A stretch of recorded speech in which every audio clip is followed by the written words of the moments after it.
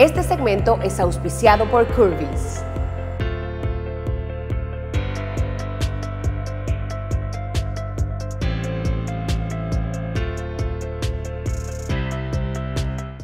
La terraza más divertida y sabrosa se llama Taquiza Kitchen Bar and Terras. Ven y disfruta de música en vivo, ambiente familiar y nuestros deliciosos tacos de pana y malanga al estilo de Taquiza, una fusión criolla y mexicana. Te esperamos en Taquiza. Angelique. Hashtag pink, hashtag blue. By Burbu.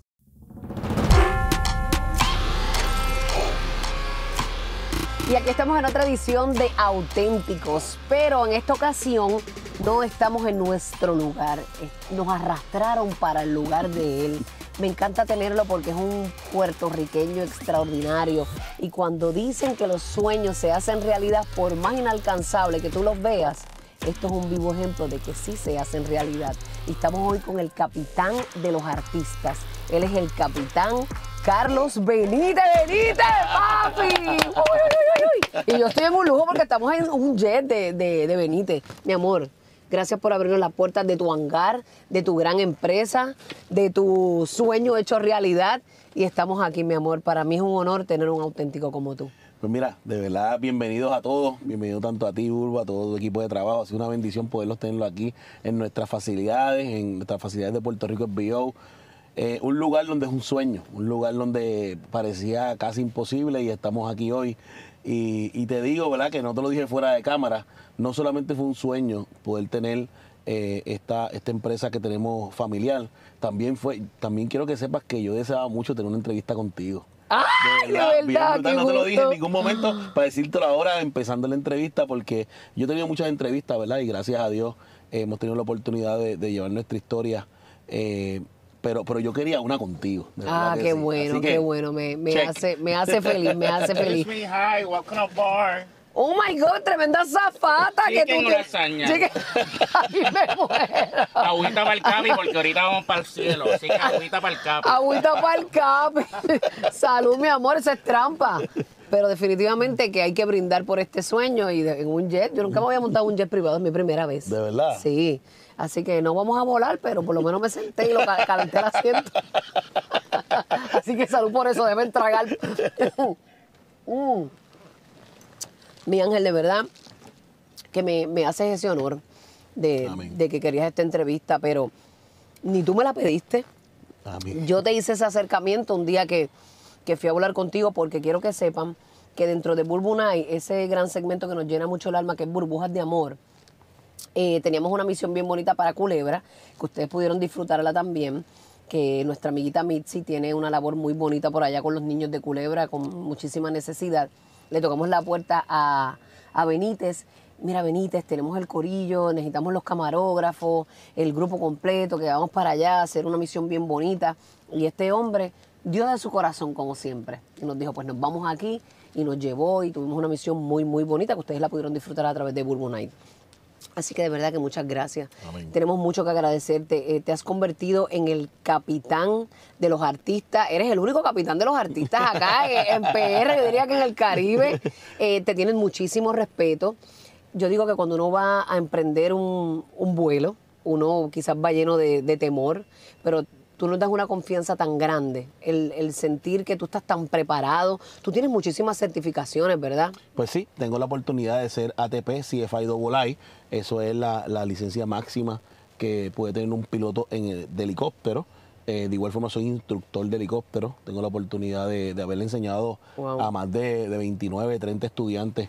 He tenido la oportunidad ¿verdad? De, de certificarlos eh, para que saquen su licencia de piloto de helicóptero. Eh, soy instructor de mi empresa de igual forma, o sea que todos los pilotos que trabajan para nuestra empresa, yo los entreno yo mismo. Y no solamente es en volar la nave, sino en la parte de servicio, la parte de cómo me gusta que traten a, nuestra clientela, en los tours y todo lo demás. De igual forma, pues soy eh, multi-engine con instrumentos de avión, sabe que tengo la oportunidad de volar jet privado. Este, este avión que estamos aquí ahora mismo, Saitecho 650, pues tengo la oportunidad de ser capitán de él y para poder pues trasladarnos a todos lugares. Tengo la oportunidad de ir en este avión a Nueva York, a Miami, a, a- a California, a Arizona. Wow, lo más lejos que has viajado en él, a, a Bueno, todos los California. Estados Unidos, todos los Estados Unidos tenido la oportunidad de, de volar y en Puerto Rico pues eh, he volado por todo el Caribe, por todos lados. Wow, ¿cuántas personas caben aquí? En este, en este avión caben ocho personas. Eh, Y cómodo, fíjate. cómodo y, y- y- y realmente son nueve, pero el noveno vaya atrás en el baño. Regularmente el que va en el baño es el que, el que no querían invitar, el que se apuntó solo. que siempre aparece. siempre aparece alguien. y siempre aparece alguien que dice, yo me voy con usted hasta en el baño. Pues mira, ahí, ahí, ahí atrás es que tú Literal, vas. literal. Estamos aquí en, en un sueño materializado. Pero ¿cómo comenzó ese sueño? ¿Qué tú hacías antes, verdad? Antes de soñar, ¿qué- ¿a qué tú te dedicabas? ¿Cómo comenzó ese sueño y cómo comenzaste a emprender en él? Pues mira, este, yo en el año, eh, en el año 2003 pues me convierto en policía. Fui a la academia de la policía y me convertí en un agente de la policía, ¿verdad? Un agente del orden público de la policía de Puerto Rico. Y saliendo de la academia tuve la gran oportunidad de que me, me- me enviaron hacia la unidad aérea de la policía de Puerto Rico. ¿Y tú sabías volar? No, yo no sabía nada, muchacho. Yo me convertí en policía, Bulbo. No era ni porque quería ser policía, era porque estaba tan y tan pelado que yo dije, pues mira, pues, pues ser algo tengo que hacer. Algo tengo que hacer. Estudié con un asociado en justicia criminal y fui a la academia y gracias a Dios, pues pasamos la, la academia y pues yo quería ser un policía. Tú estudiaste normal. justicia criminal, Cho, para estudiar algo, para, algo. para que mami y papi se estén Literal, tranquilos. literal, literal. Entonces, pues me fui a la academia, eh, eh, nos graduamos, fui y te- tuve una gran bendición a través de un amigo mío de, ¿Qué edad tú tenías para eso? Deb- debe haber tenido como unos 22, 23 años. Ok, 22, 23 jovencito. años. Un nene, un nene jovencito. Pero ya tenía un hijo. O sea, ya tenía un hijo. O sea, que Oh, yo ¿Que te- tenías una pensión en las costillas o tenías que mantenerlo? Bueno, yo tenía una pensión en la costilla que me llevaba bien ajorado. Bueno. pero, pero una bendición a la mamá de mi hijo. eh, eh, pero pero yo, yo necesitaba un trabajo estable. O sea, Claro. yo, yo estaba por ahí, yo, yo era cobrador, trabajaba en banco, cobraba por ahí. Joseando por ahí. joseando todo el tiempo, todo el tiempo. Y pues tuve la oportunidad de ser policía que lo vi como un trabajo estable. Y también me gustaba como servir, o sea, me gustaba servir. Tú eres bien amable, tú, tú tienes cara de que de los que paraba a la gente y los perdonaba. bueno, pero era así, era así, de verdad que sí. Eh, y nada, llegó la unidad aérea de la Policía de Puerto Rico y, y el- la única posición que había dentro de esa, de esa unidad especializada, donde estaban los pilotos de la policía, los pilotos que, que patrullaban las costas, donde estaban los, los- los observadores tácticos, son los que van a la parte de atrás del helicóptero con los rifles, los que hacen rescate. Y tú decías, ¿qué carajo yo hago aquí? No, yo decía que yo hago aquí porque es que yo, yo lo que quería era ir para la calle a dar ticket y a, y a patrullar. Y a perdonar. y a perdonar. Y, y me dieron una gran posición empezando. Me dijeron, pues mira, ahí está el teléfono. Como todo está predestinado, sí, mano. sí, ahí está el teléfono y te vas a convertir en el retén de la, de, de la unidad aérea. Pues yo contestaba el teléfono. Muy buenos días, gente, muy buenos días, gente Benítez, unidad aérea de la Policía de Puerto Rico, que podemos servirle. Espérate, pues déjame cambiar este tema. Entonces, ahora es de del recepcionista al dueño de la empresa de aviación. pues literal, literal. También, este, me, me, mírate esto, me, me, me- cuando estaba en la unidad aérea, también hacíamos el puesto uno. El puesto uno, el que está al frente, cuando llega la gente, el que te apunta, ok, te apu- Bulbu, Bulbu llegó. Tenga por aquí el ticket de visitante para que entre. Ese era mi gran trabajo de policía eh, en ese momento. Wow. Entonces, eh, tú sabes que yo me Digo quería- que es un trabajo honrado. No, claro, yo me quería ir de la unidad porque yo estaba aburrido.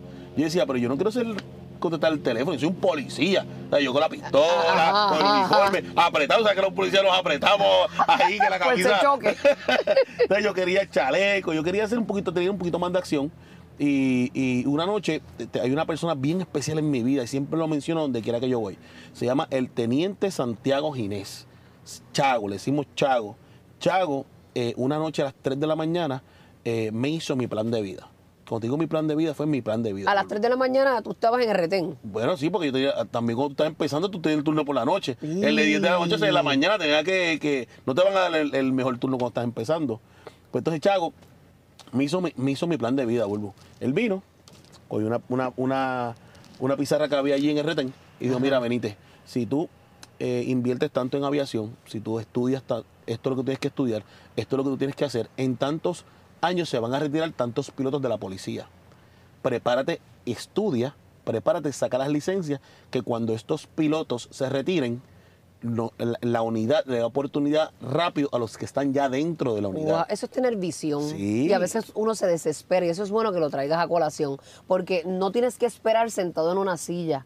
Tienes que prepararte para cuando llegue tu oportunidad, tú estés preparado y es meterte al fuego. Y así fue. ¿Qué fue lo que te pasó? Y así fue. Yo fui, eh, me fui para Estados Unidos, eh, saqué mi licencia de, de piloto de helicóptero, mi licencia privada, es como licencia de aprendizaje. Ajá. Y saqué mi licencia de aprendizaje y volví a retén. Y hay que estudiar mucho. Sí, tú- tú- yo te puedo decir que la aviación se convirtió en mi pasión, pero cuando las cosas se convierten en tu pasión no son tan difíciles. ¿Sabes? Porque yo, yo te puedo decir que yo fui mejor estudiante de aviación de lo que fui eh, eh, mejor estudiante de toda mi vida en la escuela y en la universidad.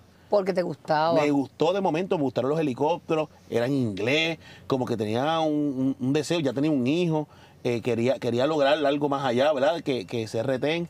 Y me fui para Estados Unidos y saqué mi licencia. Y te cuento, muchas personas creen que el capitán Benítez es el capitán Benítez. Pero yo tengo mi esposa que se llama Belkis Pérez, tú la has conocido. Mi esposa divina. Belkis. Mi esposa era mi novia. O sea, no era ni mi esposa en ese momento.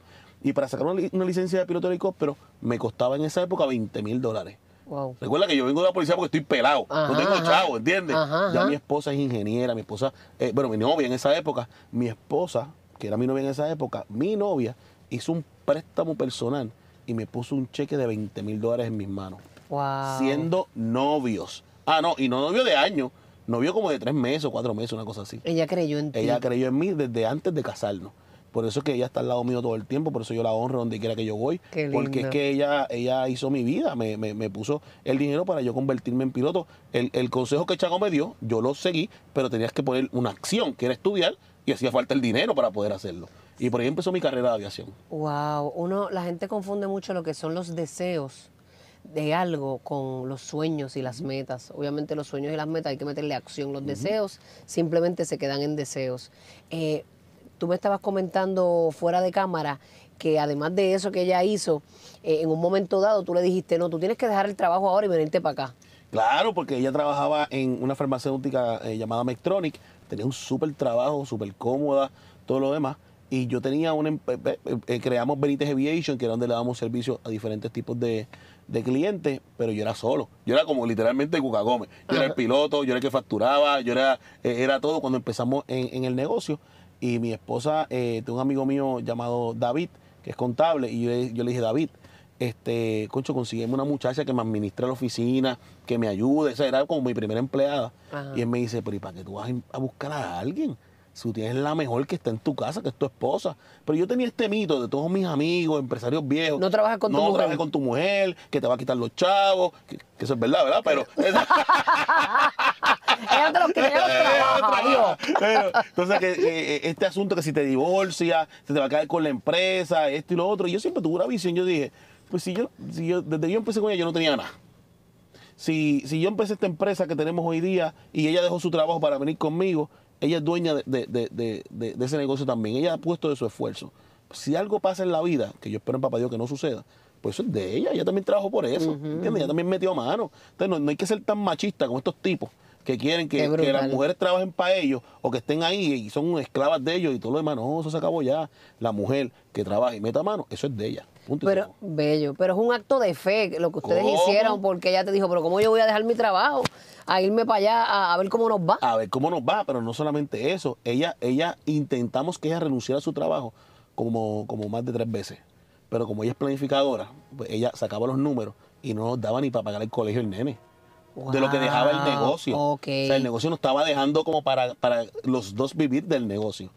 Entonces nos preparamos por un año. Ella dijo, mira, yo voy a, a vamos a guardarle un año y cuando ese año llegue, vemos a ver.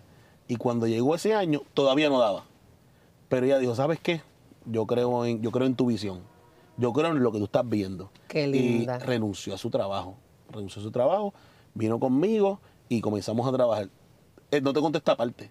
Ella se muda conmigo a trabajar, de, renuncia a su trabajo. ¿Sabes qué, Bulbu? Yo la boté a, los do- a las dos semanas. ¿Por qué? Porque es que me cambió la oficina completamente. Ustedes las mujeres llegan y me Te la pintó, te la pintó, te la pintó Rosita. me cambió toda la administración, me cambió todo, me cambió todos los sistemas, me cambió todo lo demás. Entonces, cuando yo llego, recuerda que yo lo hacía todo solo. Cuando yo llego, que veo todo este revolú, que era bien, lo que pasa es que uno, ¿verdad? Como hombre, entonces yo dije, mira, yo no puedo trabajar así. No, tú eres muy estructurada, tú, tú eres muy seria, muy esto, muy lo otro. Yo no trabajo de esa forma. Y Uno conoce sus regueros. Sí, sí, sí, pero qué bueno la importancia, No. Benítez, de tener, de, de saber elegir una persona que te acompañe en la vida. Así es. Porque tú puedes tener tus metas y tus sueños y tener toda la visión del mundo y la disciplina, pero si quien te acompaña no es tu mejor compañía, olvídate, no vas para te ningún lleva lado. al próximo nivel o te destruye. Y eso, eso fue lo que pasó conmigo. Yo saco a mi esposa las dos semanas luego de que ella renuncia a su trabajo. La votaste a las La dos semanas. a las dos semanas. Cuando te eh. estabas reivindicando la vida. Literal.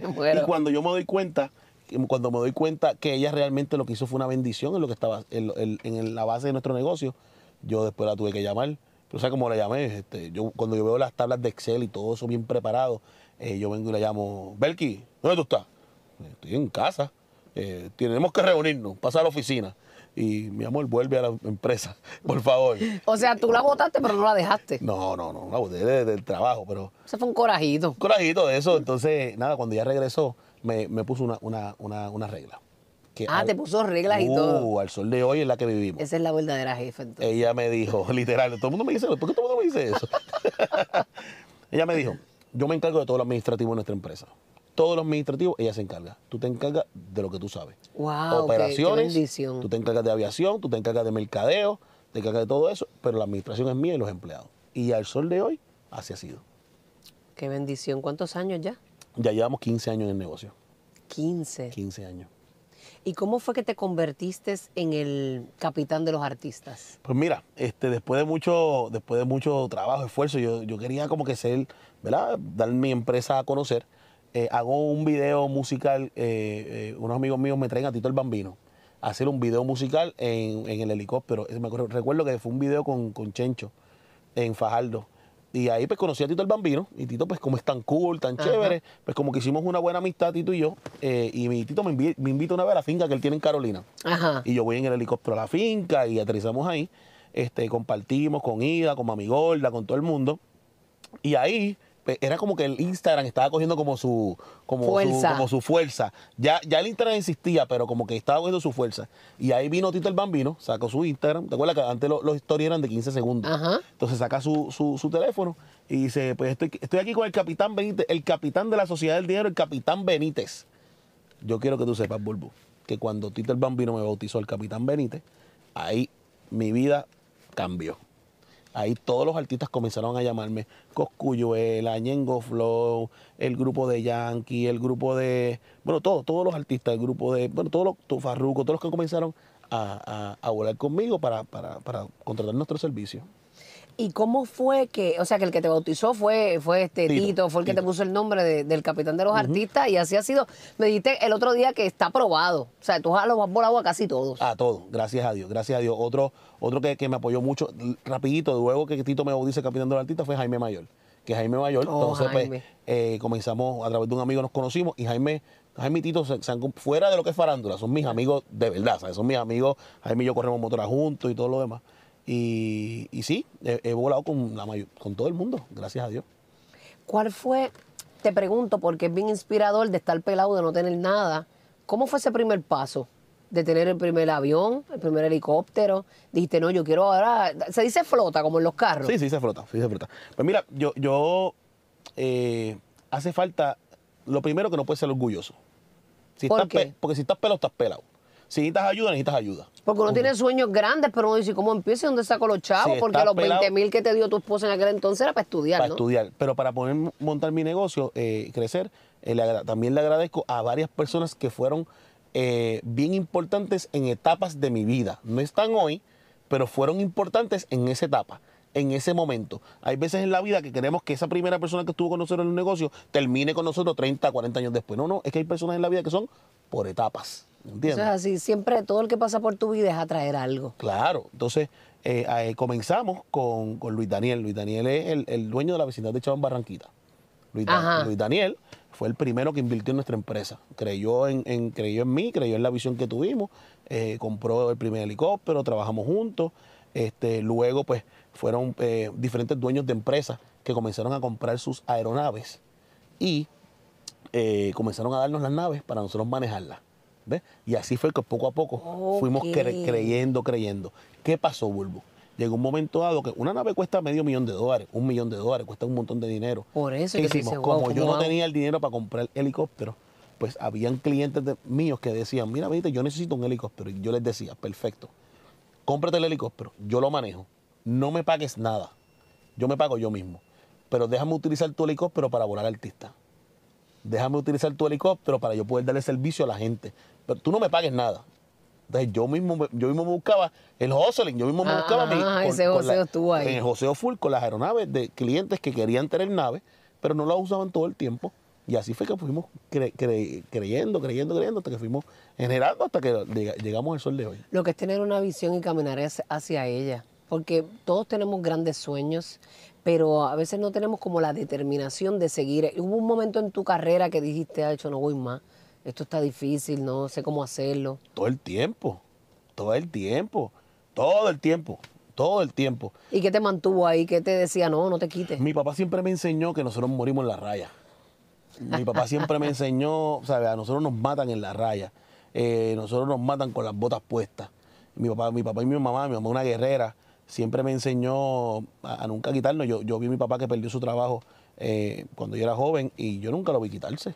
Yo lo vi metiendo manos, yo lo vi haciendo negocios, yo lo vi. Y eso fue mi gran ejemplo. Mi mamá, secretaria de escuela pública, siempre estuvo ahí metiendo manos. Y, y, y- y otra cosa, cuando tú tienes hijos, tú tienes que demostrarle a tus hijos quién tú eres. O sea, yo no quería que mi hijo Carlito, de, pues, de la edad que tenía en esa época, creyera que yo era un perdedor. Y mi hijo que venía en camino, mi esposa que creyó en mí. Mi esposa creyó en mí, dándome 20 mil dólares antes de ser casado. ¿Lloraste muchas veces? Uh, yo lloro todavía. ¿Por qué? Bueno, porque eh, la- las lágrimas van por etapas también, son como diferentes etapas. y diferentes sentimientos. Diferentes sentimientos, claro. Lloraba cuando, eh, lloraba cuando tenía que estar todo el día aquí en el aeropuerto. O sea, nadie sabe que el capitán Benítez trabajaba como piloto de 10 de la noche a 6 de la mañana en la policía. Y a las 8 de la mañana yo volaba helicópteros privados y atendía a clientela por el día hasta las 7 de la noche. O sea, habían veces que yo no llegaba a mi casa por cuatro días. Me bañaba en la unidad aérea de la policía. Wow. Mi esposa me traía a mis nenes a la unidad para poder yo poder verlos. ¿Ves? Eh, todo el mundo ve la película hoy, que estamos con, con los artistas, pero, pero Todo el mundo ve la punta del iceberg, pero no saben cómo, nadie cómo sabe, fue. Nadie sabe que yo no pude ir a la, a la graduación de cuarto año de mi hijo mayor. Porque estaba en California cerrando un negocio. Un negocio que iba a ser. Ya los momentos tan no. únicos, sí. Entonces, yo creía que a mi hijo mayor no le iba a afectar. Porque yo creo que él me entendía porque ya era cuarto año. Ajá. Y yo dije, pues ya mi hijo es grande, ¿entiendes? Entonces yo estoy en California, no puedo salir de California porque estoy cerrando un negocio que era parte de nuestra vida. Eh, y cuando me doy cuenta que mi hijo, cuando lo llamo por FaceTime, Bulbo, mi hijo con los ojos así colorados, Llorando. llorando, un tipo ya grande de cuarto año. Entonces, eso para mí fue un dolor tan grande que la gente cree que es fácil. No, no es fácil. No, no es película, no es el Gabán, no es el Jet, no es el Instagram, no, son los followers, no es nada de eso. Es todas las personas que están alrededor tuyo que tuvieron que vivírsela contigo para que este sueño se hiciera realidad. No solamente es el dinero, no solamente es el dinero, es mi hijo Elías Benítez. Elías que cuando estaba en kindergarten se me agarraba de la pierna cada vez que yo me tenía que ir de viaje tres y cuatro días.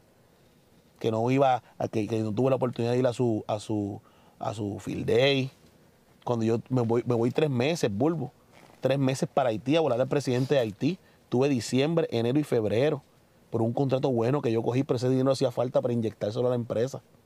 Estuve allá en Haití, volando al presidente, después, de, después de- del, del terremoto. Uy, Dios mío, que co- No, ellos, eso fue una... Uno de ellos lo, lo mataron, ¿verdad? ¿O Sí. fue este, un político de allá? Alguien un poli- bien hace poco, pero, pero en este, eh, yo estuve para el año 12, 2013. Que por es un riesgo también es lo que quiero No, no, no. traerte. Y yo me fui, en, yo perdí Navidad, despedida de año, eh, San Valentín. Yo estuve tres meses que no vine a Puerto Rico, en Haití. Cuando yo estaba en Haití, yo, yo deseaba lo que fuera para ir para República Dominicana. Que no te sentías seguro para nada. Pero ¿cómo? Pues eso es, no quiero decirlo, ¿verdad? Pero ha sido una de las experiencias más difíciles de mi vida. Hoy día, hoy, hoy, me ofrecen el dinero de la vida. y no vas a Haití. Y yo no voy a Haití. De verdad que no. Es bien difícil. Nadie sabe eso. Las lágrimas de mi esposa. Entonces, las lágrimas de mi esposa, oye, vamos pa- voy para la iglesia, voy para la iglesia y yo siempre voy sola. Eh, mira, este, que tenemos una, una cena, eh, tenemos una cena de matrimonio. Y mi esposa ir sola para allá porque yo estaba trabajando Que- con un artista. Que a veces el éxito que uno anhela viene acompañado de todas esas cosas que uno se pierde otras que son de gran valor para uno. Sí. Y es bueno que las traigas a colación porque es la vida de todo sacrificio para lograr cosas que uno quiere. Por eso yo veo gente hoy día que dice, no, yo quiero trabajar de, de lunes a viernes, no, yo salgo a las 3. A ver, Benítez, ¿qué consejo tú me das para yo poder ser empresario y poder lograr eh, montar lo que sea en, en mi vida? Y yo digo, este, ¿cuántas horas estás trabajando a la semana? Ah, pues mira, pues yo trabajo como de, empiezo a las 11 y me voy como a las 3.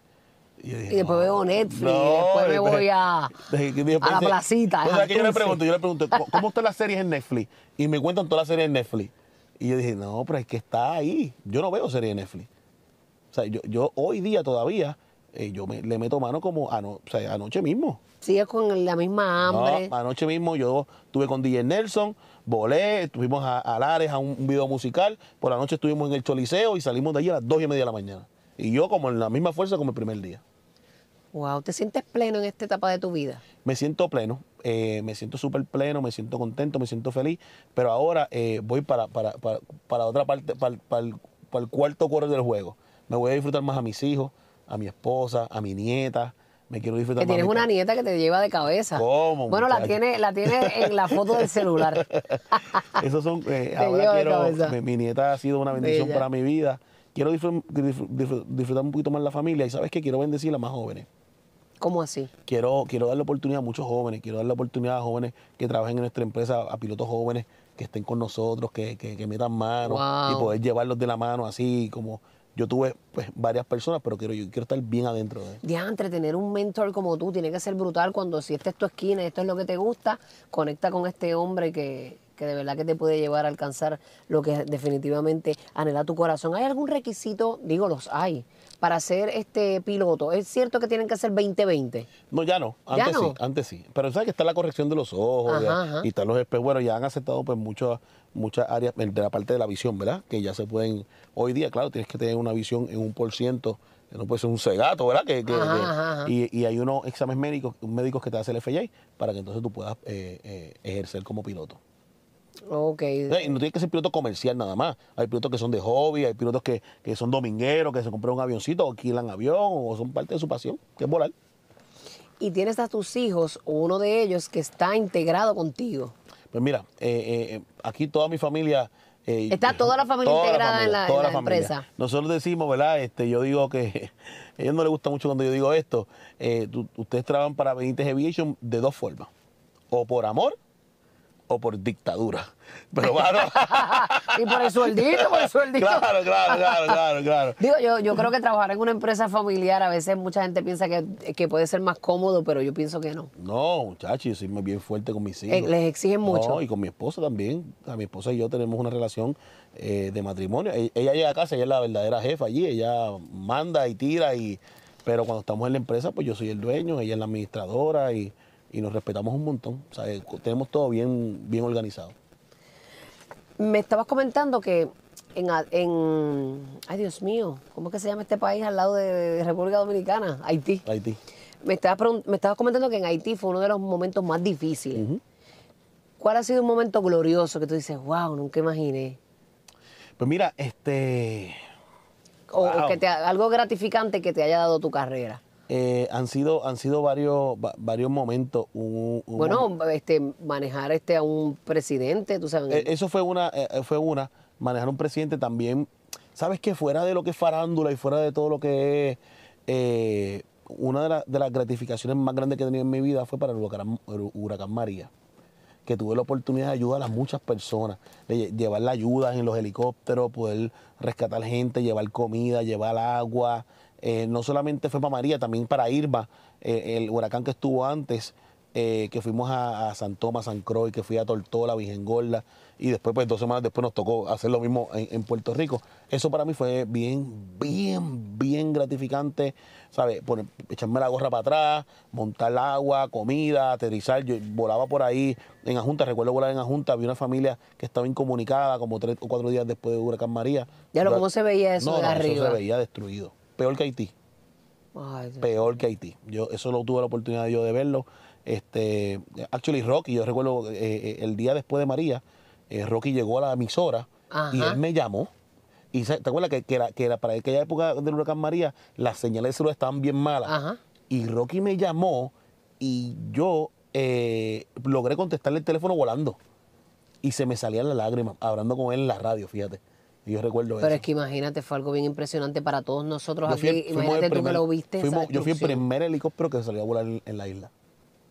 Ay, Dios mío, imagino que ibas a moco tendido todo el Full, camino. full. Pero poder restaurarnos, poder, ¿verdad? Pues utilizar nuestro talento para, para ayudar a Puerto Rico, es- eso fue gratificante. Fuera de volar con, con John Travolta, fuera de volar con, con grandes artistas, con Yankee, de volar Ese es el lado humano que tú Sí, dices sí, que, sí, que llena el alma, definitivamente. Nos hablaste de estas, de estas personas que uno identifica en el camino, que tú dices, me inspiró, como ha señalado varias personas aquí en esta conversación. Pero también yo supongo que las has tenido. Esas personas que han sido de tropiezo, esas personas que te han dicho, no vas a lograr eso, o estás pensando en paros preñados, o la- las tuviste también. No, no, las tengo. Hoy día, las tengo hoy día.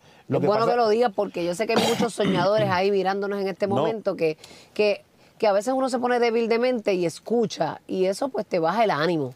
No, no, y yo fui débil de mente también en una época. Lo que pasa es que tú vas aprendiendo y ahí, ahí es donde vienen los mentores. ¿Ves? Hay diferentes mentores que me fueron en- enseñando en la vida cómo manejar esas situaciones. Hoy día, escucha bien, Bulbo. Hoy día, hoy, hoy, hoy, as we speak, yo tengo un, y tengo que llamarle un tipo, que no me deja quieto. Todo lo que yo hago lo critica, todo lo que yo hago busca la forma de, de- de- de- de quitarle el valor de lo que yo hago. Todas las licencias que yo he sacado, él busca que yo no, yo no lo logre, todo, todo el tiempo. Y a mí me llega, o sea, eso le llega a todo a uno. Pero, pero ¿sabes qué, Bulbu? A través del camino, Y tú sabes quién tú eres, no, y tú sabes quién tú eres. me gustó eso, me gustó eso que dijiste full, me gustó mucho. Tú sabes quién tú eres. Hay mucha gente sabe que, que eh, mucha gente que está en la aviación sabe de que, que- que ellos saben de quién yo estoy hablando. Pero sabes que, mira lo que yo hice. Todas estas críticas de esta, de esta, de esta persona y de estas personas, yo lo que hice fue, cogí, hice un checklist. Todo lo que yo veía que él me criticaba, yo lo apunté. Ajá. Y dije, mierda, es que en esto el tipo tiene razón. En esto no tiene razón. Wow, pero eso, ese discernimiento tuyo está, está Brutal. bueno. El tipo me ha dado, el tipo me ha dado la fortaleza para, para yo corregir mis errores a través de su crítica. Para que tú veas que depende con el lente que tú mires las cosas. Si lo coges a pecho y te muerde, o estudias la situación y dices, coño, este pendejo tiene razón, o no la tiene. Claro, en lo que no tuvo razón, pues yo no le hago caso. Pero en lo que sí tuvo, tuvo razón en muchas de las cosas que dijo, pues yo lo corregí y todos los días me hacía mejor. O sea, él y te el hizo bobo, ser más Y el bobolón no sabe que me dio la clave para yo mejorar los errores que estaba cometiendo. Oíste, bobolón. bobo. Pero bobolón, lo ha hecho más fuerte y poderoso. Amén. Así es que uno utiliza, este, hablando, dijiste ese amén y me traíste a la mente a Otoniel Font, que me estabas comentando también ahorita en una conversación fuera de aquí, que él fue una de esas personas que te, que te echó ese, esas Pues ganas. mira, sí, de verdad, el Te pastor, dio una visión. El pastor Otoniel Fon ha sido una gran bendición para, para mí, para mi familia, el pastor Omaira, eh, la iglesia, él, Ellos son mis vecinos, tremendas personas. sí, de verdad que sí, son una súper bendición. No me llevan arroz con salchicha cuando hacen, pero son tremendos vecinos. Los quiero. El, el pastor Otoniel me, me dio un gran consejo y la, la pastora Mayra eh, se sentaron con nosotros eh, en nuestros comienzos de la empresa y ellos son bien, fuera de su, de su ámbito pastoral, ellos son unos empresarios grandísimos. Son bien sabios, emprendedores, sí. Son muy sabios en las empresas, en lo que son los números, en lo que son las visiones. Tienen finca, tienen Todo, café, tienen, tienen todo, tienen todo. De y todo ellos se sentaron con nosotros, fíjate, la pastora Mayra se sentaba con mi esposa Belki y la enseñaba, mira, deberías hacerlo de esta forma, de esta forma, de esta forma. Y el pastor Otoniel fue el que me dijo, este, eh, capitán, tú tienes, tú vas muy bien en las redes sociales, el mercado va muy bien, pero tú tienes que convertirte en la persona it, en inglés it, en esa persona. Y yo decía, pastor, ¿qué significa eso? Me decía, cuando la gente piensa en aviación en Puerto Rico, tienen que pensar en el capitán Benítez. Eh, una, persona piensa, necesito un helicóptero, capitán Benítez, necesito un avión, el capitán Benítez, necesito eso, lo que sea. perdóname, pero eso es así. Pues gloria a Dios. de verdad Eso es que así. sí, Gloria a Dios. Una bendición fue él que me dio ese consejo. ¿Tú asistías a la iglesia de Sí, ellos? a la iglesia de Dios. Así fue que hicieron ese sí bonding. fue que hicimos esa, esa conexión. Muchas veces pensamos que cuando soñamos en grande, para realizar nuestros sueños, tenemos que ser el hijo del milloneta, tenemos que tener un apellido prestigioso o el hijo de verdad del pudiente. Tú que vienes de abajo, de bien abajo, que eres una historia bien inspiradora, cuéntanos cómo fue ese arranque. Pues mira, eh, eh, primero no, no, no hacerle caso a esa gente milloneta, porque realmente no te aceptan. O sea, yo quiero que tú sepas, si tú vienes de un barrio, tú vienes de cero, tú quieres eh, entrar en un negocio que, que conlleva a, a gente pudiente, gente que son acomodadas, ellos no te van a aceptar. Tú tienes que meterte, punto. Tú tienes que meterte y tienes que buscar la forma de entrar. ¿Sentiste mucho, cómo te digo, codazo? ¿Sentiste que no te querían en la ecuación? Totalmente, totalmente. Ya no te puedo decir tanto que hoy, y, y esta es la parte dura. No, y esto. no, porque lo lograste. No, Y hoy, y hoy lo ya me quieren. Y Hoy lo ya me hiciste creyente, Sí, sí, pero sí. ese principio. Sí, ya hoy no, no, no me pasa tanto, pero me pasó mucho al, al principio que no- me daban de codo. Me decían ridículo, me decían charro, me decían... ¿Por eh, qué? Por tus sueños. Por mi sueño, porque yo lo proyectaba en las redes sociales. Porque yo cogí las redes sociales como, como, como, como una herramienta de mercadeo. Papi, pero tú manifestas, es que el universo está brutal y Dios está del más allá. Tú lo manifestaste con tu boca, tú le diste poder a ese sueño Amén. y, y obviamente acción. Amén, amén. Y lo llevamos a través de las redes sociales. Otros pilotos me decían, ¿qué me decían otros pilotos? Capitán Benítez, pero Benítez, pero porque tú estás poniendo todos tus videos volando eh, eh, en, en- en helicóptero, porque tú estás eh, documentando todo lo que tú estás haciendo. Y yo decía, bro, porque es que la gente tiene que saber que esto es algo que puede ser para todo el mundo. O sea que te veían como un farandulero y mira hoy lo que haces. Me decían farandulero full y yo decía, bro, pues si estoy con los artistas es una bendición de poder estar con ellos. Y yo lo que quería demostrar a todo el mundo era, mira, yo soy de Toalta High, Puerto Rico. Estudié en la Luis Pález Mato en Bayamón, escuela pública. Estoy al lado de la Bulbo, estoy al lado de grandes artistas de este país, estoy al lado de gobernadores, estamos al lado de todo el mundo y vengo de escuela pública. En los que estén en colegio, amén, gloria a Dios. Pero los que estén en escuela pública, mete mano. No te dejes llevar, no dejes que, que te aplasten, no, no, dejes- no le creas a ellos. Créete a ti, cree lo que tú puedes lograr. Y claro, no, no significa que no vas a llorar, no significa que no te va a doler, te va a doler. Claro. Pero tienes que seguir para adelante. Y el proceso que nos forma duele. Es parte de esa formación y de crecer y de ser grande. Pero totalmente. Por eso yo dije, yo quiero hacerlo diferente. ¿Sabes qué? Hoy yo estoy así, así calado aquí contigo, porque tengo una entrevista contigo. Pero ¿sabes qué? Cuando yo vuelo avión, pues yo, yo vuelo pues me, así calado. Pero cuando yo vuelo helicóptero, ¿sabes qué? Yo uso Jordans. Yo soy un fanático de las tenis Jordan. Miren mis videos en mis redes sociales, porque ustedes vean que yo tengo un montón de Jordan. Y yo voy a volar helicóptero en Jordan. ¿Y sabes por qué? Porque es que a mí me da gusto que ellos me miren y digan, pero ¿y por qué este tipo está en Jordan? Porque este tipo usa Jordan, esa Jordan de caco. Y yo digo, a mí me da gusto que ellos me vean, ¿entiendes? Haciendo lo que me da la gana. ¿Sabes por qué? Porque lo hice diferente. No me dejé llevar por ninguno, ni me dejo llevar por ninguno. Lo hago a mi forma. Llegó un momento, ¿sabes qué yo dije, Bulbo? ¿Sabes que Si ustedes no me aceptan, ahora yo no quiero ser parte de ustedes. Ahora yo no quiero ser de tu grupo. No, ahora yo quiero estar con mi grupo. Ahora yo estoy con mi corillo, con mi gente, con los que son reales, con los que están conmigo de la mano, con los que están conmigo ayudándome. No, no quieras estar en un grupo que no te quieren. Si no te quieren, sácalos de tu vida y haz tu propio corillo. Eso es así. Aprende lo que tengas que aprender, desecha lo que tengas que desechar. Y es como este hombre que, mira, siguió ahí en ese camino. Y hoy día, aquellos que no creían en ellos, ¿qué tú hiciste? Le dijiste, mira, toma esto aquí. Te voy a comprar lo que tú tienes. Así fue. Y, y- es la historia de este hangar donde estamos hoy día. Yo vine a este hangar, yo pude, pude haber sido en el año 2004, 2005, yo era bien jovencito.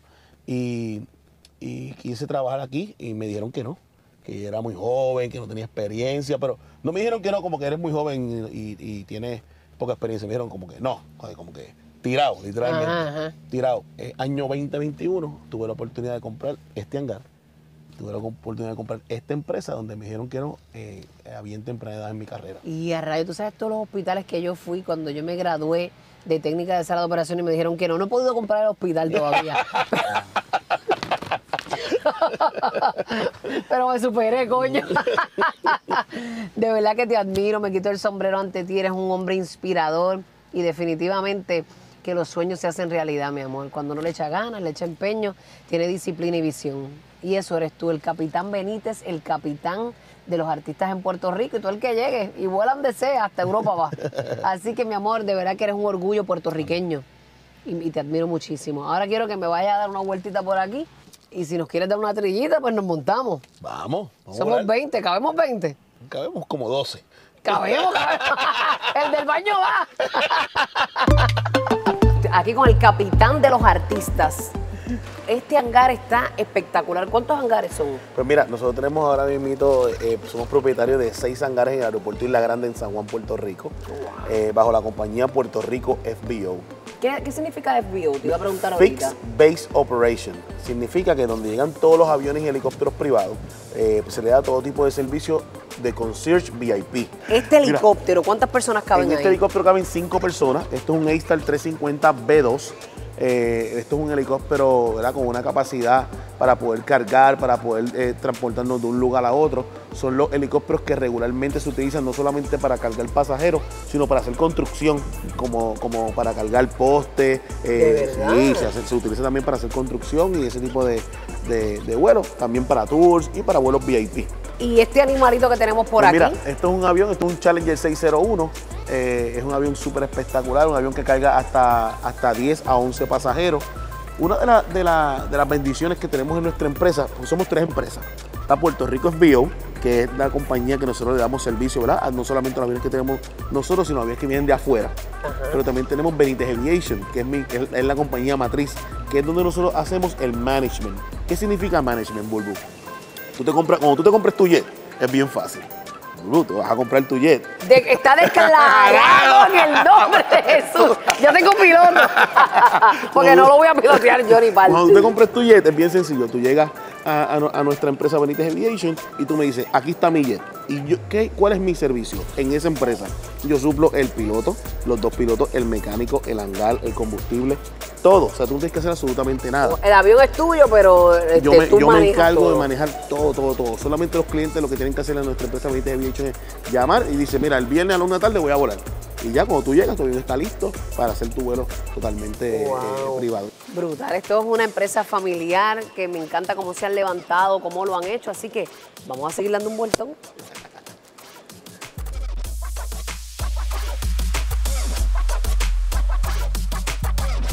Chicken or lasaña.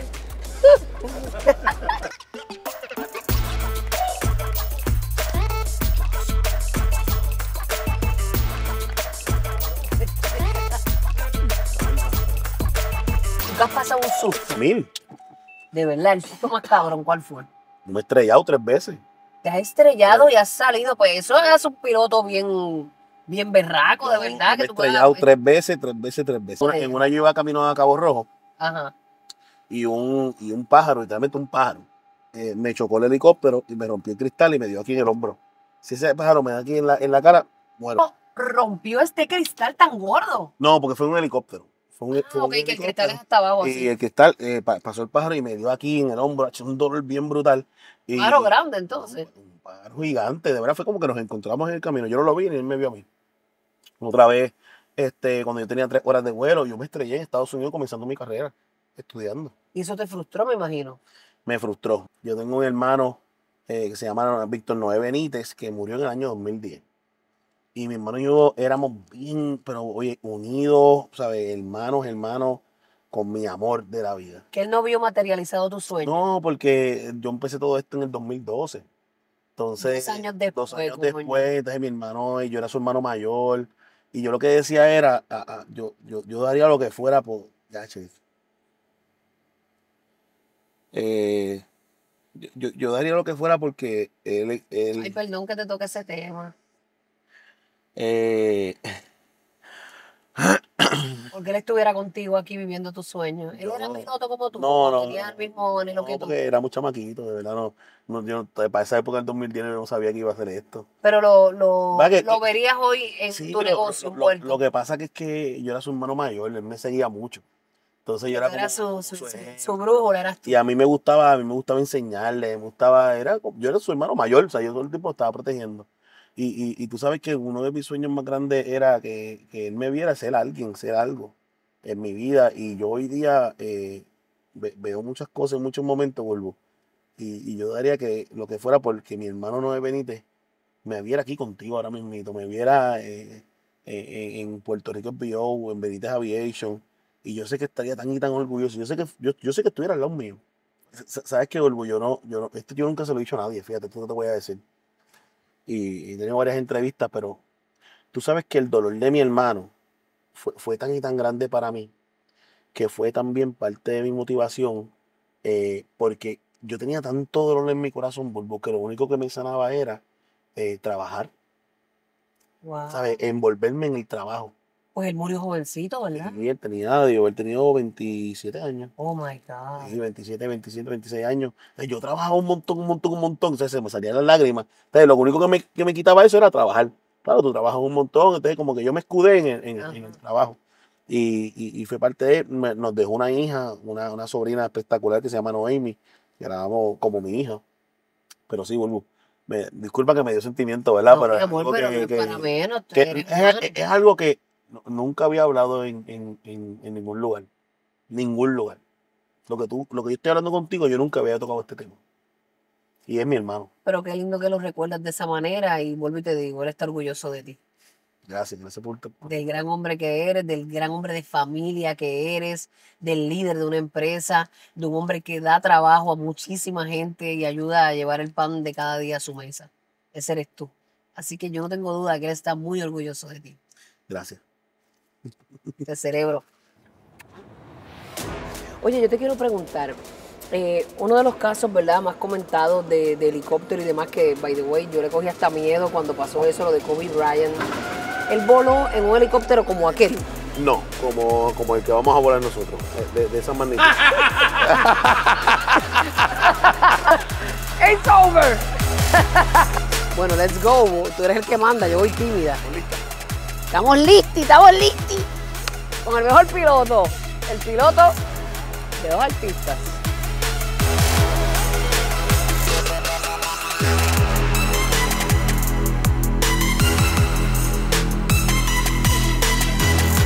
Esta vez nosotros hacemos un chinchorreo aéreo. Vamos a tres restaurantes el mismo día, almorzamos en un cine, un palito, vamos nos damos un palito con otro restaurante y terminamos a las seis, cinco y media de la tarde, a las en el rincón viendo el sunset. Oh, God. Ya de que bello es el morro. Tú que has tenido la oportunidad de viajar a muchos lugares y verlos desde esta perspectiva. Qué lindo. ¿verdad? Por eso cuando a mí me preguntan, ¿dónde es el sitio más espectacular que tú has volado? Yo digo, "Ah, por ser boricua, pero en Puerto Rico. Ay, yo viví, mira mi apartamento de soltera, qué lindo te hablara.